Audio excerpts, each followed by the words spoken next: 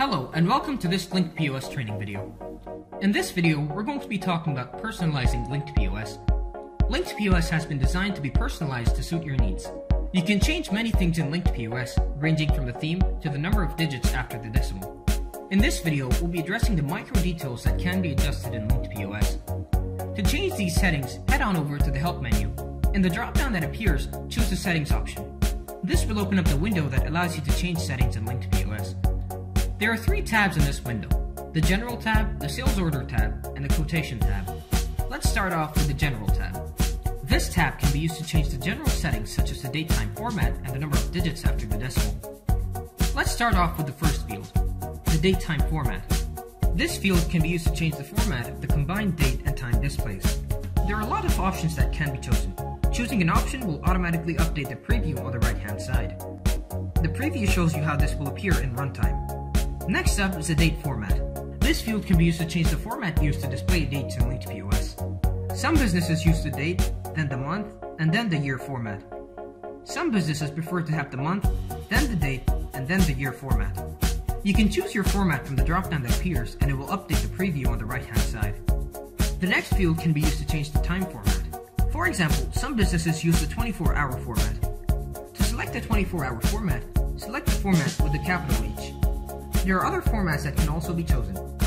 The preview will be updated with the format you select. Next up is the digits after the decimal in the amount field. In this field, you can set the number of digits you need after the decimal and prices. For example, let's take the Kuwaiti dinar. The Kuwaiti dinar has 1000 fils or subunits in 1 dinar. Hence, it uses 3 digits after the decimal to represent the units. When you set the number of digits to 3 after the decimal point, you can see a live preview of how this will appear in Linked POS. Let's take another example. The US dollar. The US dollar has 100 cents in a dollar. Hence, it uses two digits after the decimal to represent the cents. When you set the number of digits to 2 after the decimal point, you can see a live preview of how these will appear in Linked POS. Note that the default value in this field when Linked POS is installed is 2. This means that there will be two digits after the decimal point. Next up is the digits after the decimal in the quantity field. This is a powerful feature of Linked POS. This field can be used when talking about quantity, such as in the case of vegetables. Other point-of-sale softwares on the market only allow users to enter whole values. Linked POS gives you the option to be able to enter decimal values such as 1.5, 1.24, 1.73, 2.17 in the case of quantities. The default value in this field is 0.